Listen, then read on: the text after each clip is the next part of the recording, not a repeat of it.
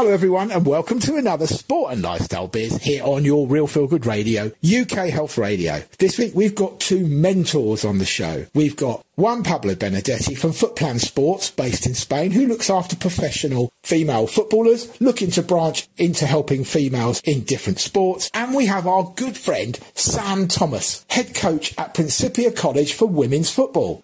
He'll be telling you all about how he started, how he got into the role, and how things have gone since he started. We hope you enjoy the show. We've got our SLB Sports Roundup featuring loads of results from different sports around the world as well for you to listen to, and we hope you enjoy the show. Well, everyone, I'm delighted to say to you today I'm joined by a football agent for women's football. It's JP Benedetti, all the way from Barcelona in Spain. Hi, JP, how are you? Hi, John. Doing good, and you? Brilliant. Thank you for taking your time out of your day to join us. It's a very interesting thing for the listeners and for me, considering I have a lot to do with girls' football and women's football. I was wondering if we can come on to you telling us about what you do now. But first of all, so the listeners get to know you a little bit, can you tell us a bit about growing up, what it was like for you, and how you got into football? Yeah, well, I grew up in Argentina. I left the country really young because it was a bad situation in the country, so I had to, me and my family and I had to leave the country. Always looking for opportunities, and since I was a decent player football at that age, we left to North America. He was playing in Argentina and then moved to USA and played there. There was many opportunities because once you're a good athlete in North America, you get lots of opportunities to play in different clubs and being called up for scholarships and so on. I was there for a time until my family and I moved again to a different place, which was Toronto in Canada, and continued playing there for like four or five years, if I'm mistaken. Got the opportunity to play with the national team when I was there for six years or so and then move all over again to another place and move to Barcelona to Spain and continue playing here. Once I stopped playing football professionally, uh, or, or so semi-pro, we'll say, I got into more of the marketing side of companies and so on. I worked with big companies and knowing and learning about marketing. And then I moved really soon to football because I was already, when I was involved in football, I was having connections with agencies, big agencies. And so I started growing my network connections and knowing more about the other side of the business, not as a footballer, but also as the agent. And that's when it all started with the agency side. Fabulous. Thank you for that. Absolutely brilliant. Just a couple of things I could take from that, if that's okay. You said you moved due to perhaps country problems into North America, started off at a decent standard. When did you find out that football was your love? Was it something that was immediately attracted to you, or did you play any other sports first? I mean, I think it was really when more you could probably tell from more Argentinians are the, somewhat the same because we love football. Right. In my case, for example, in my family, my dad was a professional footballer in Argentina. Okay. So I could I can tell probably from from his side first. When I was really young, I did football, I did basket, I did track and field. When I was really young, obviously I liked the most football. But I think doing different sports gave me an opportunity of being different than the rest because the athleticism that I had was different than the rest. I was faster than anyone else. I was stronger, and all those things probably came from playing different sports besides football. Yeah, which was good. But I fell in love at the beginning when I was really young because the joy of playing football outside on the streets, on the ground, with friends when you're really young. That especially happens in countries like Argentina, Brazil, for example.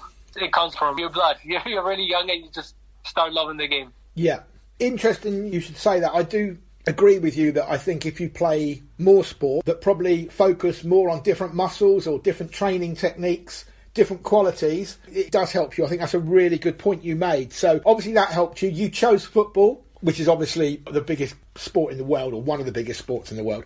You said you moved to North America. Then you had a family move to Toronto. Was that family decision or was that football based? No, that was more a family decision. But even when we were in Argentina, we had some family members was living in Toronto.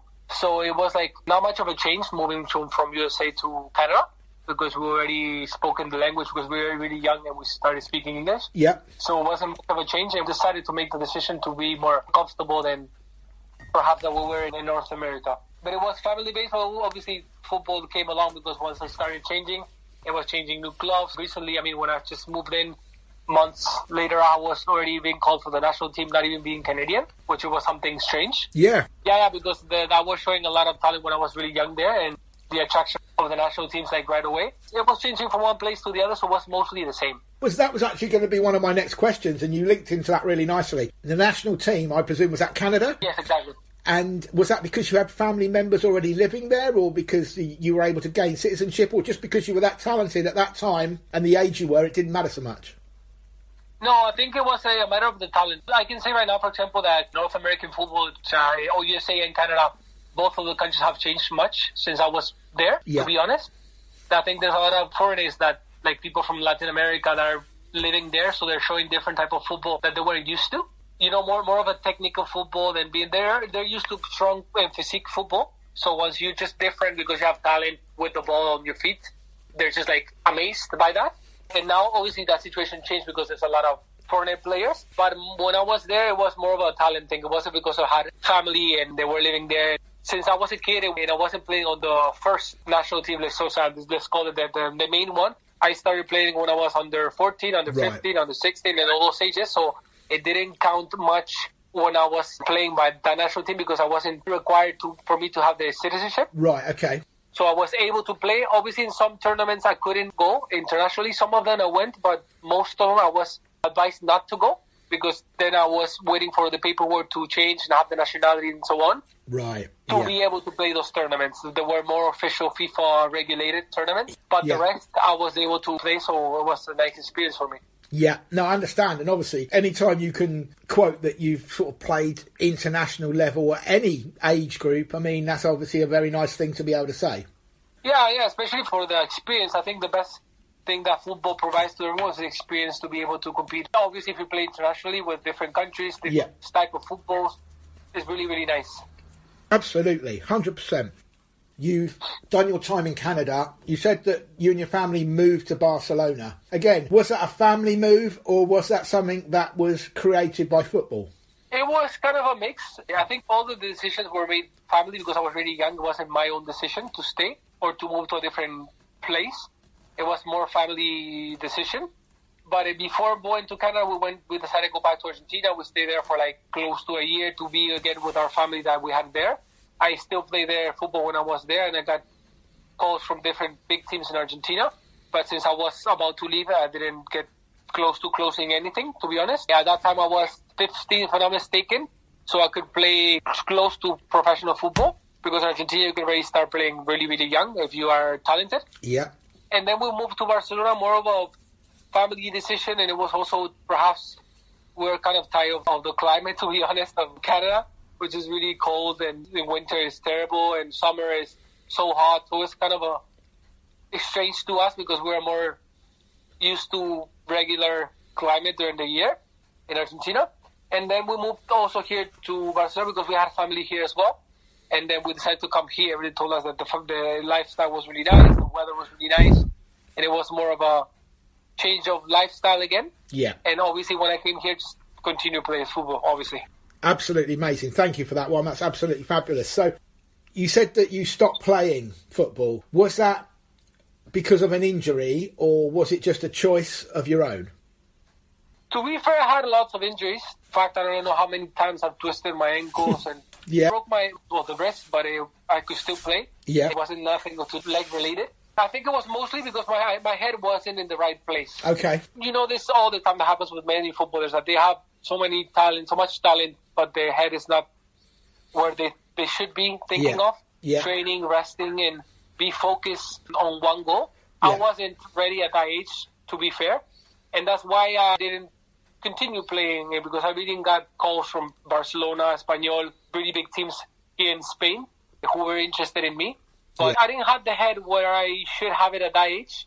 Once you are focusing on being professional, so I started working. I started knowing uh, lots of other things that I got interested in, and that's why I stopped playing semi-pro. I will say, just obviously continue playing more regularly, more of a training because I just love the game. Yes, yeah. But it wasn't focusing on being professional anymore. So yeah, it just goes to show you how important mindset is, doesn't it? Really, at any level, really, but particularly the higher level that you get to. Yeah, in any sports, yeah. it's way more important to have the mindset and you're being focused than having talent. Like if you're focused and you work hard, then you will get higher than any other guy who has more talent than you. Yeah, thank you, Warren. Absolutely fabulous. So we've done your football career. We're going to now move on to what you're doing now and how you got into that. You did allude earlier to the fact that you were already had your contacts with agencies and you were managing your network really well. Did you go straight from Yeah. not playing into this? obviously when I started internationally, I already got that interest from agencies and so on, and Yeah. I started making my own connections. Not only especially because my dad was ex-professional player, but Right. also from my but I wanted to get my own name, my own last name, and, and having my own personal connections. So I was also interested in that. That's why perhaps my head wasn't only focusing on being a professional footballer because I got interested of other business sides as well. And I started making connections with people from USA, Canada, everywhere I played, obviously Yeah. and collaborating with agencies because since I started playing or focusing on being professional, was still being involved in football, and I had many connections in football, like or friends who were still active and they weren't close to being professional. So I get I got the connection from those players into new agencies and so on, and I started building my own network related to all the agencies. It sounds great. So you obviously went into becoming an agent yourself. Yeah. Where did you focus on first? Was it straight into the women's game or did you start off with men? No, I started really young with men's in football. I've been men's football years involved already. Yeah. But obviously collaborating with other companies, uh, big companies, but wasn't always, never was my name on on any paper because I was on the backside of the office working and perhaps building the connection with the athlete or the connection with the clubs I had and so on. But it was all working for someone else. You know what I mean? It was like Yeah. on the backside of everything that was involved. But it was nice because I got the experience of the male side, which are things that are doing, which are good, but most are bad. To be fair, there are some things I've read done in male football that I don't like. Right. That's why years after, when I was more tired of being involved in those sort of things, in fact, I don't even like the name of agent. I would just call myself a businessman or call it other because I don't like or even rep- represent someone. I just help yeah. athletes and provide them support. I will say that providing support will be the best to describe someone who wants to help athletes to achieve their best. You know what I mean? Absolutely. Agents are more like the representation of, and I don't represent no one, just advise Yeah. athletes to achieve their best. Yeah, I agree. There is a what we call over here a stigma about the word agent. Exactly. Yeah. It's not good. It- not all of it's good, is it? That's a problem. Exactly. I don't like to be called an agent, to be honest. No, I know exactly what you're saying, and I totally agree. I mean, what you want to do is just enable anybody that you work with, or in a way represent or advise, as you said, to achieve their best off the pitch so they can focus at getting their best on the pitch. Exactly. Brilliant. No, absolutely agree. So, you mentioned that you didn't really like some of the things that happened in the men's game. I mean, the men's game's massive, isn't it, really? When you come down to it, there's going to be a lot of stuff going on that we don't agree with because of just the enormity of it. But it's a good time to get into the women's game, isn't it? It's growing.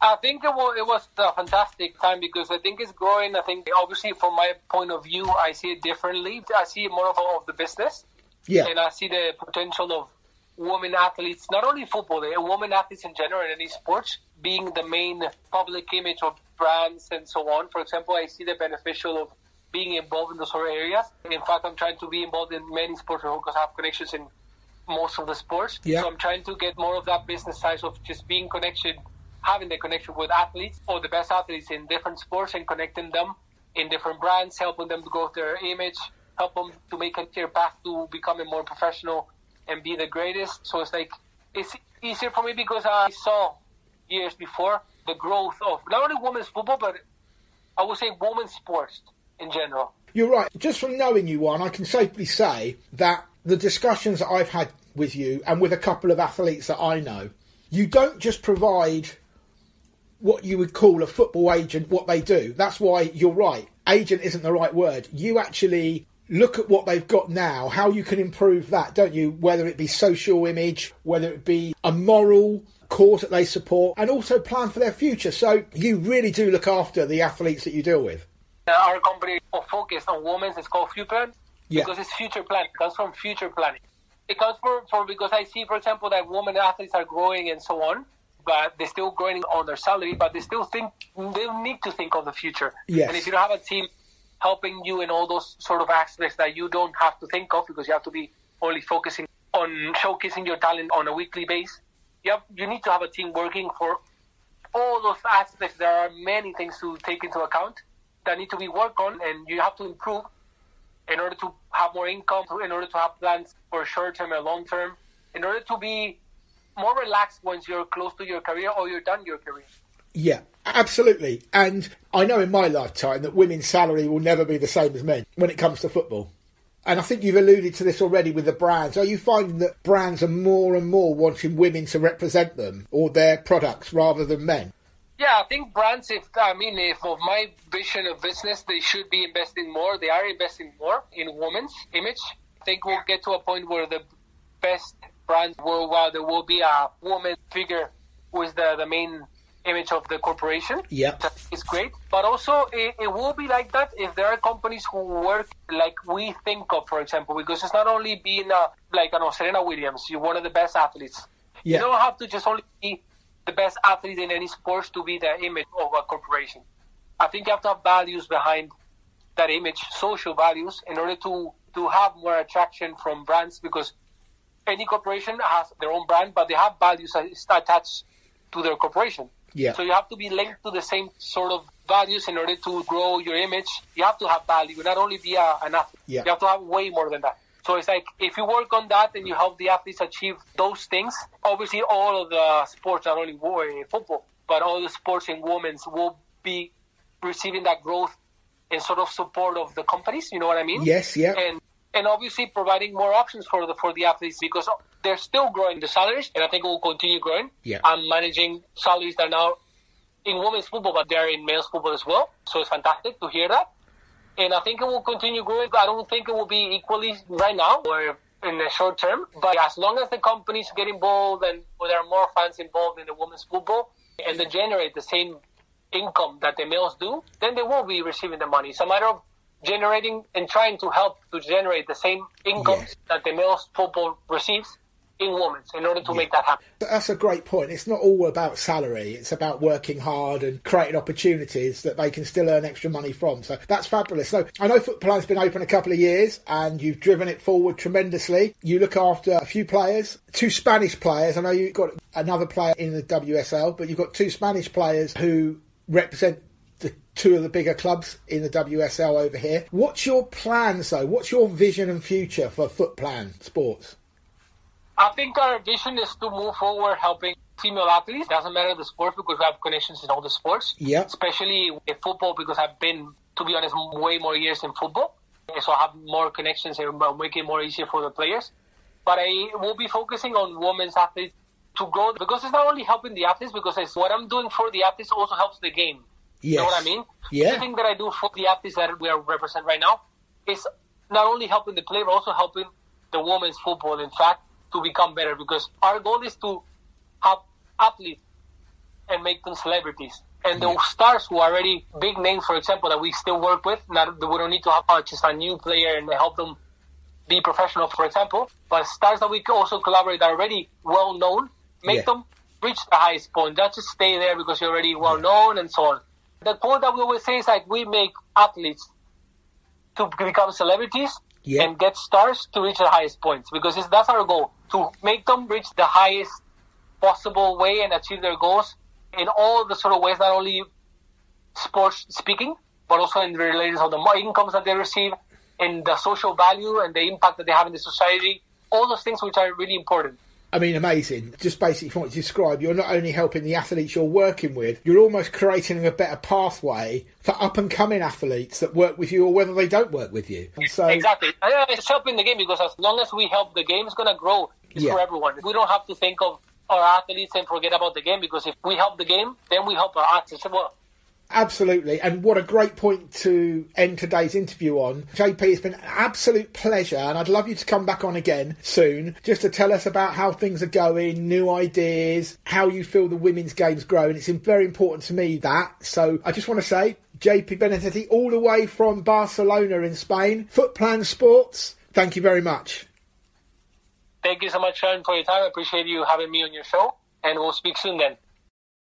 UK Health Radio, the station that makes you feel good.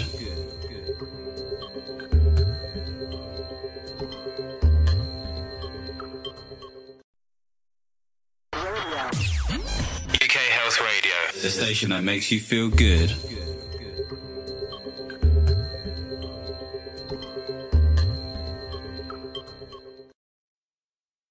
Well, everyone, back with me again is our favourite coach from America. It's Sam Thomas. Hi, Sam. How are you? I'm great, John. How are you? Really good, thank you. We'll get the necessary pleasantries out of the way. How was your Christmas? It was wonderful. It was wonderful. We had a white Christmas here first Did time you? in St. Louis, where I'm located for the first time in I don't know how many years. So that was wonderful. Time with the family is always brilliant. How was Yeah. yours? Yeah, very good, thank you. You're right. You know, cooking Christmas dinner for the kids is nice, and just spending some time with them, and you know, doing things you don't normally do, like playing, you know, some board games and stuff like that. Just a lovely thing to do, and a great time. But it's all the build up, but it's soon over, isn't it? It is, and the wind down from Christmas is made softer by Boxing Day. So we're happy to have the Premier League back in our arms after the World Cup. Yeah, again, it was strange, wasn't it, not having any Premier League football for six weeks. But I actually thought, you know, taking all the political and all the outside stuff out of the way, I actually thought it was a pretty good World Cup, to be fair. the football itself, yeah. you can stick to the football and keep it on the fields, it was enjoyable. I find it hard personally to detach what happens in the world from what happens on football pitches around the world. But, you know, the, the football is great. I think we'll find out more about the effects of a mid-year World Cup as we get Yeah. to the tail end of seasons and maybe some of those World Cup players might not be on the field at the tail end or needing more rest. But for what it was, congrats to the winners. Proud of how our American boys did. Yeah. And happy to see Messi Yeah, wind up on it was a fairy tale ending. I thought America were excellent considering where they have been, and I thought perhaps a couple of tactical errors from England. Having said that, they went out very narrowly to a team that got through to the final, so it might not have mattered where they met France, if that makes sense, because France might have beaten them anyway. It doesn't matter. So perhaps going out in the quarter final to say that's a failure is a bit harsh, because if they hadn't met France, they may have got through further. So it is, Exactly. I agree. France is a different beast. yeah, And even considering how many injuries they had and players they were without, they were still absolutely, incredibly deep. So absolutely. even better good. for Argentina to beat a France team that was so loaded. Well, absolutely, and great points. And I'm sure we're going to have another conversation on that. But today is more about you and the project you're building. We've already spoken about this, but briefly, just to sort of so we can start the conversation off again. You're coaching now as head coach of the women, ladies, girls soccer team at the college that you graduated from yourself. Just quickly tell us your feelings, you know, when you got that opportunity. it was nothing but joy. You know, Principia College was obviously the college I attended. It was one of the best periods of my life. I look back at it with tons of fond memories. Met my best friends there. You know, I made tons of memories on the football pitch, off the football pitch, and when you enjoy an environment so much and you get the opportunity to coach in that environment, it becomes very easy to know the kind of recruit that is going to share the joy of that environment with you. The difference between being a student on a college campus and being a coach on a college campus is wide. And so sometimes in coaching environments, you can recruit a student athlete for the culture you're creating within your team, but the culture on the college campus in you know the dormitories or the houses, the culture in the classrooms, it might be different from the environment that you're creating. And so then your team kind of becomes this bubble of this one environment at Principia, the environment that I've wanted to create everywhere I've coached, it's baked into the school. It's one of the things I loved about the school as a player. And it means that any player that I recruit here, they're getting the consistency of that environment on the pitch with us and off the pitch in the classroom, in their social life, etc. And so knowing that going into the job, it's a wonderful joy and it it's a wonderful opportunity. Perfect. And that is quite important briefly, isn't it, to touch on that again before we go on to other things. And this is having learnt trying to place girls with you. It's not solely about getting them into a team. If you're doing your job correctly, or we are for the girls, it's actually finding an environment that's good for them as well. Precisely. I mean, every coach is going to prioritize different things, and every recruit is going to want different things in an environment, in a coach, in a classroom setting.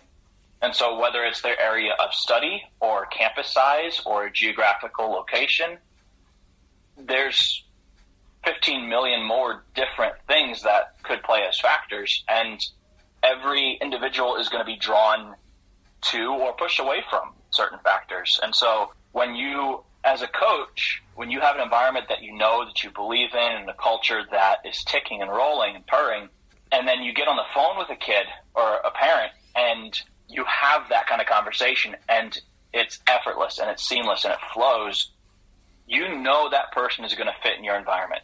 It's, a, it's a no brainer.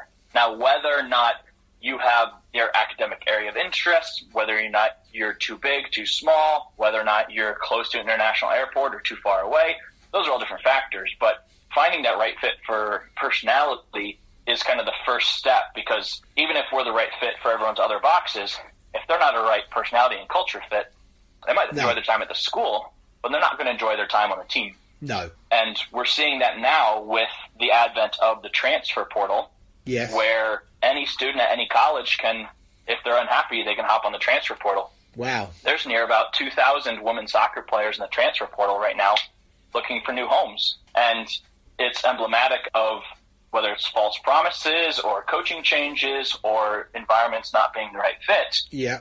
Pick your reason. There's a lot of reasons that a lot of people are looking to switch. So finding that personality, environment, and culture fit off the bat is key. And this transfer portal, is it open for the whole year? Is it like a transfer window as in normal football? How does it work?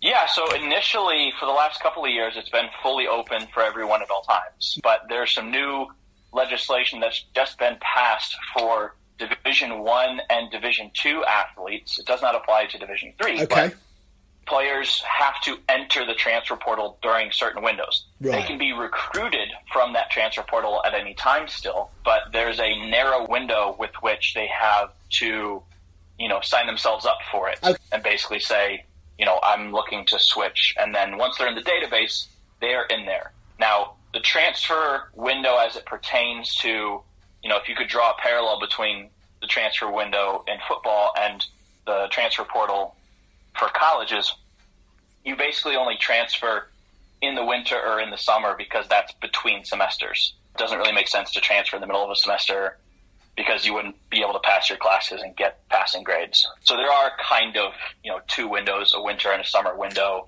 between semesters that it makes sense for students to transfer, but they can have ongoing conversations during the Right. year. No, okay, that's great. It's nice to be explained to and how it works. And who knows, there might be a student in America that listens to the show. Do you know what I mean? They're probably all aware anyway, but it's always nice to get the If you're information. listening, email me, samuel.thomas at principia.edu. It's on our website. There you go. Love to be in touch. Brilliant. Love that. Why not? Why not? Self-promotion. This is what we're here for. Yeah, when you got that job, I know it's a new project that you started. Tell me the challenges that you were facing and where the team was when you started. Yeah, so the first challenge we faced was roster size. I came in mid spring semester and we only had nine players. Right. Most college roster sizes are between 24 to 32 ish. I would say that's a pretty normal range. And we had nine, and we didn't have any committed incoming players who were basically signed to come in. So that was a little nerve wracking because I didn't know for certain that we'd be able to field a team in the fall. And so we were able to get one freshman and five transfers, and then we were able to pick up two athletes who were already on campus playing different sports. So we built a roster out to compete this fall. But the second hurdle we faced was we got hit with the injury bug early. We had a player max out on concussions before our season started over the UK Health Radio, the station that makes you feel good.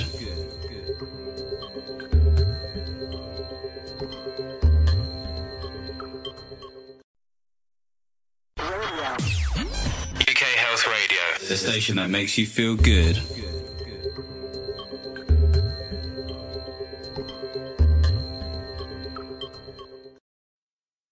Talented players, a winger. She had a high third degree ankle sprain in our first preseason practice.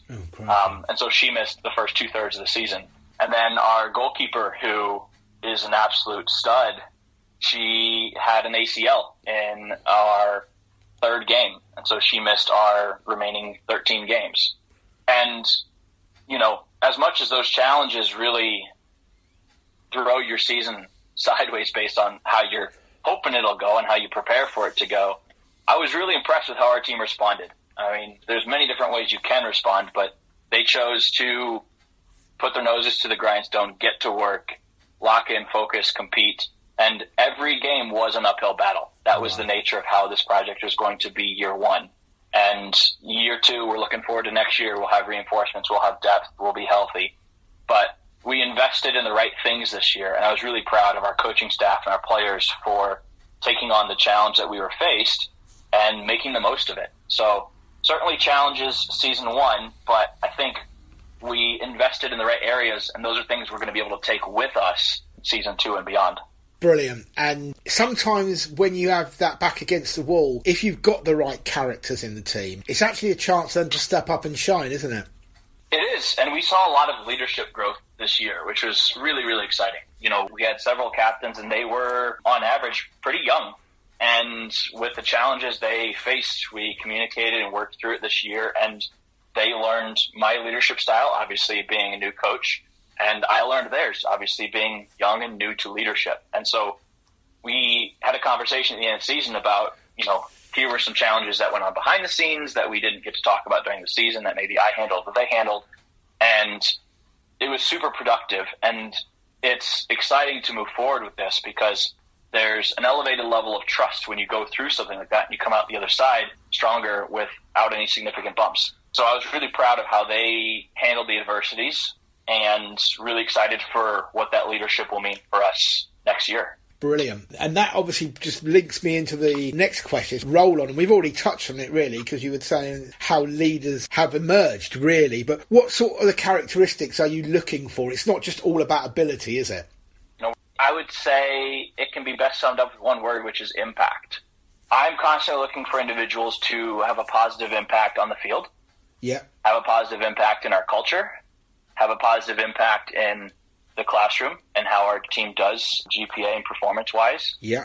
Have a positive impact in our community. We are a small school in a tight knit community, and it's really important to have our team have a positive impact at the school, have our school have a positive impact in our city and in Yeah. our surrounding area.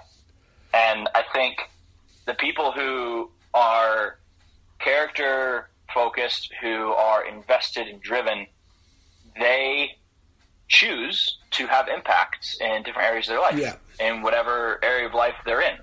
And I think that's not every person needs to be 100%, you know, going overboard in every area of their life. But in the moment that they're in, my hope is that they're prepared and wanting and willing to have an impact at the time. And so on the field, that takes many forms. Maybe it's a player who, you know, they see the football pitch like a chessboard and they're thinking four or five steps ahead. Maybe it's a player who can play with every surface of their foot, every texture of the ball, rain or shine, turf or grass. Maybe it's a player who has Mbappe levels of blazing speed, Right. or you know has Giroud, Benzema levels of sussing out the opportunity to finish. There's many different ways to impact a pitch or team culture, and that impact in whatever form it takes, get, that's the thing that gets me excited when I see that in film or I get to know that in a recruit in their personality. Yeah, fabulous to hear. And you said that the team had, as you said, leaders had emerged, the team had grown. Do you get a lot of cross sport viewing? So, like, would one of the other women's teams or even boys' teams come and watch you play? And does a good result in football mean it's good for one of the other sporting teams? Oh, absolutely. That's a fantastic question. So, because we are a small school, a lot of the athletes know each other, if Yeah. not all of the athletes know each other. It is a small environment, and they all support each other. So, our team is always present at basketball games, at volleyball games, men's or women's. They're present at baseball, present at softball, or men's soccer. And same thing is happening for us. Rising tide lifts all ships. And so for us, the more successful our program is, you know, it increases the platform that other programs have to be successful. Right now, our rugby team just won the national championship. Oh, they just won the. Division Two national championship. And that is brilliant. It's brilliant for us on the women's football side because it increases our visibility, lifts our platform. Yeah. And our men's basketball program, our women's basketball program, they're winning left, right, and center. Our men's team just went to Hawaii and they won some Classic Invitational in Hawaii. And now all of a sudden there's recruits in Hawaii who have heard of Principia College. Brilliant. And so Yeah. there's immense value to that cross sport pollination and increasing visibility. Brilliant. And you've even sort of elaborated on that more and expanded that to the fact that when you go on national tournaments, it actually brings awareness to the college, which would, as you said, open up the eyes to more people around the country. There is so much data. Are you familiar with March Madness, NCAA men's basketball tournament every spring? I've heard of it. I wouldn't say I know too much about it, but I have heard of it. So viewing numbers on March Madness are comparable to the Super Bowl. Now it's a whole tournament. It's not just a game, but it is the Division One men's basketball tournament, and the viewing numbers are staggering. There's, I believe, I don't want to get this wrong, but I believe there's more viewers than there is for the college football championship. And because it's a tournament, you start with a bracket style, 64 teams, they play each other Yeah. you know, you'll have a 13, 14, 15 seed maybe upset a 2, 3, 4, or 5 seed. Right. And every year, whichever school gets one of those upsets, they get a visibility platform seen by tens of millions. Their enrollment and applications go through the roof. And so very recently, there was a college, UMBC, University of Maryland, Baltimore County Right. they were a Cinderella story and they won a couple games. And I don't want to get the figures wrong, but you can look it up. Their applications that year jumped a couple hundred percent. Wow. And it's just because their basketball team won two games. But the stage in which they won those games Yeah. brought that platform to the school. So Brilliant. certainly something in all coaches' minds when good things happen at the school. From a recruiting standpoint, it's good to strike while that iron's hot. Absolutely fabulous, brilliant stuff. Thank you, Sam. And a couple of things actually before we wrap up. I know your schedule's quite tight. What's the 2023 program or the rest of this season looking like? And obviously, I know you said the team have done well and have grown. Obviously, you're looking for more recruits in the summer, and that's only going to help out with the squad. Yeah, so we're looking for recruits right now. I'm on the recruiting trail, watching games, having phone calls, managing visits on campus. We've got some brilliant footballers, both personalities and talent wise, that we're talking with that have come on visits that are interested in our school. It's a super exciting time. The big challenge is going to be deciding within that group who's the best fit and who we Yeah. go with. So definitely a blessing in that setting. And that's ongoing through winter and spring. Hopefully by the time summer rolls around, we are set. Summer is pretty late to be picking up recruits for the upcoming fall. A lot of schools have application deadlines in maybe March, April, or May. So ours is May. And so we try and get all of our recruiting done before then. For our team, they'll get together, they'll lift, they'll condition, they'll do their winter workouts, and they'll play futsal. We've got a great indoor training facility. We've got a full 200 meter indoor track Yeah. and a couple futsal courts that sit inside of it. And so they'll play futsal. Sometimes they'll play pickup with the men's team, and that's going to, you know, constantly challenge them and elevate their play. We brought two transfers in for the spring semester, a midfielder and a goalkeeper, to two positions that, whether we have an injury or a player graduating, that we, we needed reinforcements. So that'll be great for us for our spring games. And then we'll get together. We'll have our training sessions. We'll play some competition and we'll keep focusing on putting down all the groundwork so that when the reinforcements come in in full force in the fall, we're ready and we're ticking so that everyone can kind of step in and pick up where we left off. Brilliant. And the first year, has it gone as well as you'd expected considering your injuries? Are you happy with how it's been? Yeah, kind of a mixed bag with both. I think our on field was worse than we expected in so much as, you know, those injuries really deal you a blow. If you've got a small roster and you lose a goalkeeper and a goal scorer, it's damaging. But I will say on the flip side, the team culture environment is much better than expected. In times of transition, often those kinds of things can present challenges and it was more an opportunity than a challenge this year. And so we're coming out of this period feeling that very much as a strength. And so full of optimism from that standpoint. And then off the field, you know, obviously anytime you take a new job, it means that you're picking up and moving. And so from a personal standpoint, way better than expected. I got the opportunity to move to an environment that I'm familiar with, closer to family, closer to friends. And so from a personal life standpoint, nothing but green lights here. It's been a little bit of up and down, but certainly more positive than negative and even more positive on the horizon. Brilliant, Sam. Just quickly before we do let you go, how are those injured players? How are they coming along? Are they recovering well? Yeah, they're coming along. So our winger, she was able to finish the season strong. So she's doing some specific ankle strengthening this Yeah. off season to make sure it's her second ankle injury in two years. So we really want to make sure she has a fully healthy season this year. Yeah. We've got a couple other players with some knocks that they finished the season with. So lots of working through that this off season. You know, the player who unfortunately had her concussions, this would have been her final season. So she's forced to hang up her boots, unfortunately Right. but she's still a brilliant person, brilliant personality and leader, and we were grateful for the time we got with her. And then for our goalkeeper, she is crushing her ACL rehab. Just before she went home for the holiday break, I drive her to a rehab once a week, and she gets taken it by other people on campus or other days. But I talked to the rehab specialist, the PT that she's working with, and he said she's ahead of course, crushing it, super strong. So that's all the good stuff we love to hear. She's that kind of personality who's going to look down that challenge and say, come and get me. So we're thrilled for her and it's looking like she'll be back in time for our games next season. So Brilliant. we'll have our depth back at the goalkeeping position with some players coming in and her coming back. So we will look strong, but super happy for her to be crushing that rehab and we'll see her moving around this spring. Absolutely brilliant, Sam. Thank you very much again for your time. As I said, I know your schedule's quite tight today, so appreciate you always doing this. We'll catch up next month and you can let us know how things are going since you've been back. Glad you had a fantastic Christmas. Hope you have an amazing new year.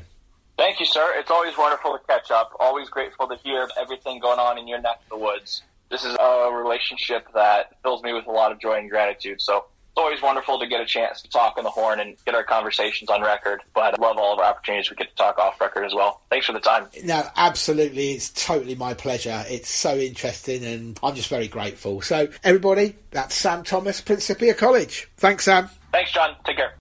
We finish off this week's show with our SLB Sports Roundup featuring golf, horse racing, darts, motorsport, boxing, NBA and football.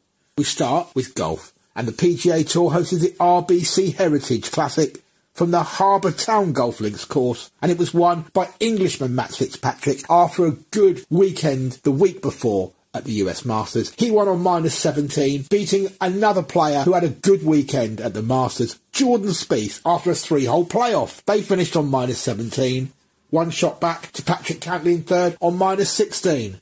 Next, they have a week off and they're back on the 27th of April with the Mexico Championships from the Danza Valanta course in Puerto Rico. The DPWT is back this week with the ISPS Handa Championship from the PGM Ishioka Golf Course in Japan. The LPGA hosted the LOTTE Championship from the Hoakalei Golf Course in Hawaii. It was won by Grace Kim on minus 12, beating Lu Zhu and Zhu Jin Sung, also on minus 12 in a three-way playoff at the first hole. This week they're back with the Chevron Championship from the club at Carlton Woods course in Texas.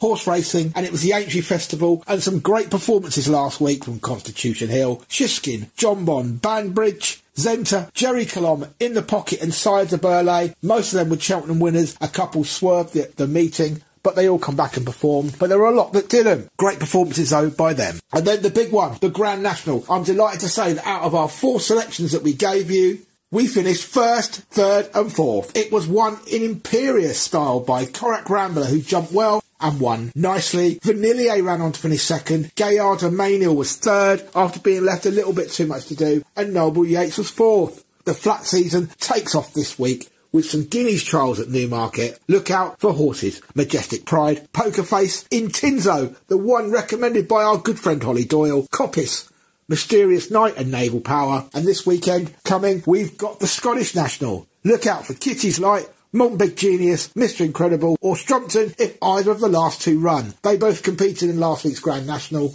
Let's see what happens. Darts and the Premier League. And night 11 was held at Brighton and it was won again by Gerwyn Price, the first time for many years that four nights have been won in a season. He took five points, beating Michael Smith 6-5 in the final. Michael Smith taking three points. The beaten semi-finalists, Michael Van Gerwen and Peter Wright, each take two points. The league table shows Michael Van Gerwen out in front in 29, but his 10-point lead has vanished. It's now two. Gerwyn Price closing in in second. Michael Smith is third on 18 points. Fourth place Johnny Clayton, 17 points. Week 12 is in Rotterdam. Motorsport. NASCAR, the Noco 400 from Martinsville Speedway saw Kyle Larson get back to the victory step. He was driving a Chevy Camaro for Hendricks Motorsport. Joey Logano driving a Ford Mustang for Team Penske was second. Martin Truex Jr. driving the Toyota Camry for Joe Gibbs Racing was third. Christopher Bell leads the standings Toyota Camry for Joe Gibbs Racing on 302 points. Ross Chastain is second. Chevy Camaro for Trackhouse Racing 297. Kevin Harvick is third. Ford Mustang for Stewart Haas Racing just 10 further back on 287. This week it's the Geico 500 from the Talladega Super Speedway. IndyCar was back with the Acura Grand Prix of Long Beach, one of the iconic tracks, and it was won, a first-time winner, Kyle Kirkwood for Andretti Autosport. His teammate, ex-Formula One racer Romain Grosjean, was second, and Marcus Ericsson, the current Indy 500 champion, was third for Chip Ganassi. Marcus Ericsson now leads the standings on 110 points, deposing Pato O'Ward, who didn't score any points this week, driving for Alice McLaren. He's now 15 behind on 95, with four further back to Alex Palou for Chip Ganassi. They're back next on the 30th of April with the children of Alabama's Indy Grand Prix. Formula E, this week they're back with the Germany Prix from Berlin. And Formula One are back on the 28th to the 30th of April with the Azerbaijan Grand Prix from the Baku City Circuit. Onto two wheels, MotoGP held the GP of the Americas from the famous Circuit of the Americas in Texas. It was won by LCR Castrol Honda rider Alex Rins after a mistake and a fall by current champion Pecco Bagnaia went out in front. Second place, Luca Marini, riding the Ducati for the Valentino Rossi 46 Mooney team, and third place Fabio Quartararo for the Monster Energy Yamaha. Marco Bezzecchi, riding for the Valentino Rossi Mooney team, leads the standings on 64 points. Current champion Pecco Bagnaia is second for the Ducati Lenovo team on 53. Six further back to Alex Rins from the LCR Castrol Honda team. World Superbikes are back this week with the Pirelli Dutch round from Assen, and British Superbikes are back from the 29th to the 1st of May from Oulton Park with round two, races four, five, and six. The Speedway Grand Prix, as we know, kicks off on the 30th of April with the Croatian Grand Prix. Boxing, and Joe Joyce lost his unbeaten record when he lost to Zhilei Zhang in round six by technical knockout. Zhilei Zhang has tried to fight Anthony Joshua, who has come out of the fight on more than one occasion, and Joe Joyce could just not cope with his straight left through the gap, and it was stopped in round six with Joe Joyce's eye all swelled up and he couldn't see from it. NBA and the playoffs have started. The results of last week's play-ins saw the Heat and the Hawks go through from the east, and the Lakers and the Timberwolves from the west. Playoff round one results. Expected wins from the 76ers, who beat the Nets, and Celtics beating the Hawks in their first game. However, the Knicks went to the Cavaliers and won, and the Heat beat the Bucks on their own court to go 1-0 up, both teams. In the West, the Kings beat the Golden State Warriors in a very close game. The Lakers went to Memphis and won. The Clippers went to Phoenix and won. But the Nuggets readdressed the balance for the fancied teams, beating the Timberwolves. We'll be back with results from games 2, 3 and 4 next week. Football. Matchday 31 results. Aston Villa 3, Newcastle nil. Southampton nil, Crystal Palace 2. Everton 1, Crystal Palace 3. Wolverhampton 2, Brentford nil. Chelsea 1, Brighton 2. Tottenham 2, Bournemouth 3. Manchester City 3, Leicester 1. West Ham 2. Arsenal 2, Nottingham Forest nil. Manchester United 2, with the result from Leeds and Liverpool to come. The top four in the league sees Arsenal out in front the title is now in Manchester City's hands. Arsenal just four points clear. Manchester City have a game in hand, and they're yet to play at the Etihad. Manchester United are in third, now got a three point gap over Newcastle, who lost this week, with Tottenham a further three back in fifth. Matchday 32's fixtures Arsenal versus Southampton, Fulham versus Leeds, Crystal Palace versus Everton, Liverpool versus Nottingham Forest, Leicester versus Wolves, Newcastle versus Tottenham, and Bournemouth versus West Ham. There's some midweek fixtures for match day 33. Wolverhampton versus Crystal Palace, Aston Villa versus Fulham, Leeds versus Leicester, Nottingham Forest versus Brighton, Chelsea versus Brentford, West Ham versus Liverpool, Manchester City versus Arsenal, Southampton versus Bournemouth, Everton versus Newcastle, and Tottenham versus Manchester United. That Manchester City Arsenal game should probably well have a bearing on who wins the title and the Tottenham Manchester United game could either derail Manchester United's top four hopes or end Tottenham's. The FA Cup this weekend has the semi-finals. Manchester City versus Sheffield United and Brighton versus Manchester United. Champions League is also this week. Chelsea come to home to Stamford Bridge against Real Madrid with a 2-0 deficit and Manchester City go to Bayern Munich 3-0 up from the first leg. And the Europa Europa League as well is on Manchester United with a hard task going to Sevilla at 2-2. The Women's FA Cup semi-finals took place as well and the final, which is due to be held next month, will be Manchester United versus Chelsea. That's our SLB Sports Roundup. Well everyone, I really hope you enjoyed that show. A mentor, blockbuster show. People who look after women in football and also other sports. I'd like to thank JPB from Futplan Sports and Sam Thomas from Principia College. I'd also like to thank you, the listeners, and of course Johan, Rafaela, and the team at UK Health Radio for the amazing platform they continue to give us. We'll see you all next week.